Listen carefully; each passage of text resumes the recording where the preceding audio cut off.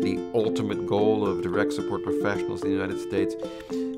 is is really much more than just even supporting people. It, it's it's ultimately they're involved in a civil rights movement. They're ambassadors for people with disabilities. I like when they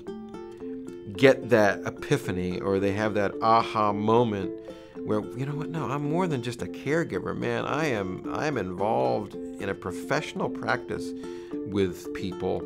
when dsps begin to see that big picture that there's human rights and civil rights and, and, and, and so many other aspects to what they do